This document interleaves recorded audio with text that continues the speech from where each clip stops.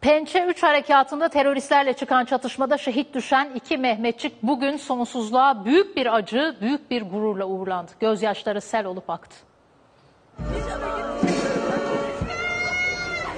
Sağlık ekibi yok mu ya? Sağlık ekibi biliyor musun? Sağlık ekibi. 5 ay sonra yine geleceğim dedi.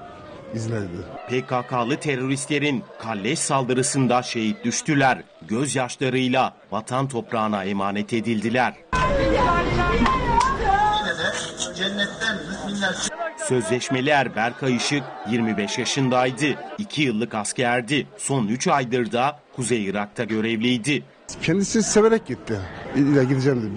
Baba Ali Işık'ın sanki içine doğmuştu. Oğlunu aradı ama ulaşamadı. Nöbetteymiş. Tekrar ulaşmaya çalıştık ama o anda şehit olmuş. Şehit Mehmetçik için iki telli cemevinde cenaze töreni düzenlendi. Boşaltalım ya. Boşaltın biraz. Sağlık ekibi yok mu ya? Sağlık ekibi? Sağlık ekibi. Bayılan yakınları hastaneye kaldırıldı. Şehidin naaşı toprağa verilmek üzere memleketi Tokat'a uğurlandı.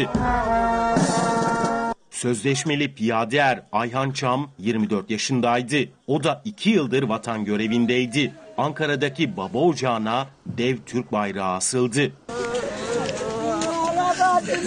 Şehidin dayısı piyade er Salim Demir'in de 18 yıl önce Şırnak'ta PKK'lı hainlerin döşediği mayına basarak şehit düştüğü ortaya çıktı. şehitlerin sarayıdır dediler. Şehit sözleşmeli er Çorum'da toprağa verildi.